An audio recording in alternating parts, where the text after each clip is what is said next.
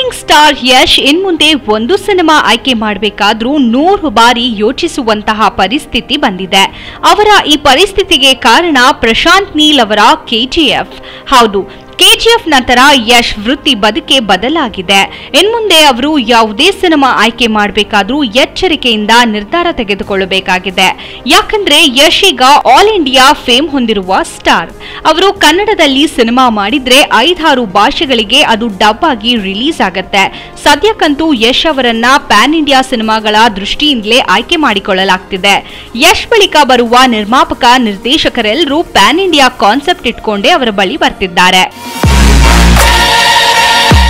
ಈಗಾಗಲೇ ಮಫ್ತಿ ನಿರ್ದೇಶಕ ನರ್ತನ್ ಯಶ್ ಒಂದು ಸಿನಿಮಾ ಮಾಡ್ತಾರೆ ಅನ್ನುವ ಸುದ್ದಿ ಬಹಳ ದಿನಗಳಿಂದಲೂ ಕೇಳಿ ಬರ್ತಲೇ ಇತ್ತು.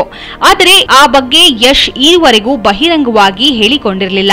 ಸದ್ಯದ ಬೆಳವಣಿಗೆಗೆ ಗಮನಿಸಿದ್ರೆ ಕೆಜಿಎಫ್ ಚಾಪ್ಟರ್ ಟೂ ನಂತರವೇ ನರ್ತನ್ ಯಶ್ ಕಾಂಬಿನೇಷನ್ನ ಸಿನಿಮಾ ಸೆಟ್ ಇರುವುದು ಆಲ್ಮೋಸ್ಟ್ ಕನ್ಫರ್ಮ್ ಆಗಿದೆ.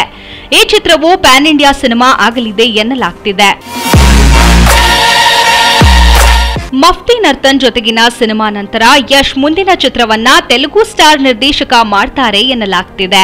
ಹೌದು, mass movie director Boyapati Srinu ಸಿನಿಮಾದಲ್ಲಿ ಯಶ್ ನಟಿಸಲಿದ್ದಾರೆ ಅನ್ನುವ ಮ್ಯಾಟ್ರು ಮೀಟರ್ ಇಲ್ಲದೆ ಓಡ್ತಾ ಇದೆ. ಭದ್ರ, ಸಿಂಹ, ದಮ್ಮು ಸರಾಯ್ನೋಡು ವಿನಯ ವಿಧೇಯರಾಮನಂತಹ ಪಕ್ಕಾ ಮಾಸ್ ಸಿನಿಮಾಗಳನ್ನು ನಿರ್ದೇಶಿಸಿರುವ ಶ್ರೀನು ಯಶ್ಗಾಗಿ ಒಂದು ಪಕ್ಕಾ ಮಾಸ್ ಸ್ಟೋರಿ ರೆಡಿ ಮಾಡಿದ್ದಾರಂತೆ. ಇದು ಕೂಡ ಪ್ಯಾನ್ ಇಂಡಿಯಾ ಸಿನಿಮಾ ಆಗುತ್ತೆ ಅಂತ ಬಿಡಿಸಿ ಹೇಳಬೇಕಿಲ್ಲ. ಬಯೋಪಾಟಿ ಶ್ರೀನು ಸದ್ಯ ನಂದಮುರಳಿ ಬಾಲಕೃಷ್ಣ ನಟನೆಯ ಅಖಂಡ ಸಿನಿಮಾದಲ್ಲಿ ಬ್ಯುಸಿಯಾಗಿದ್ದಾರೆ. ಸಿನಿಮಾದ ಟೀಸರ್ ಕೆಲವು ದಿನಗಳ ಹಿಂದಷ್ಟೇ ಬಿಡುಗಡೆಯಾಗಿ ಸಾಕಷ್ಟು ಸದ್ದು ಮಾಡಿತ್ತು.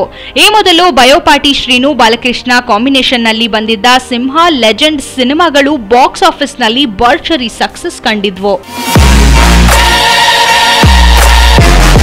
ಸದ್ಯ ಯಶ್ ನಟನೆಯ ಬಹುನಿರೀಕ್ಷಿತ ಕೆಜಿಎಫ್ ಚಾಪ್ಟರ್ ಟೂ ಚಿತ್ರ ಬಿಡುಗಡೆಗೆ ರೆಡಿಯಾಗಿ ಕುಳಿತಿದೆ. ಎಲ್ಲವೂ ಅಂದುಕೊಂಡಂತೆ ಆಗಿದ್ರೆ ಈ ಸಿನಿಮಾ ಈಗಾಗಲೇ ಬಿಡುಗಡೆಯಾಗಿ ದಾಖಲೆ ಬರೆಯಬೇಕಿತ್ತು ಕೊರೋನಾ ಕಾರಣದಿಂದ ಈ ಚಿತ್ರ ಬಿಡುಗಡೆಯ ದಿನಾಂಕ ಮುಂದಕ್ಕೆ ಹೋಯಿತು.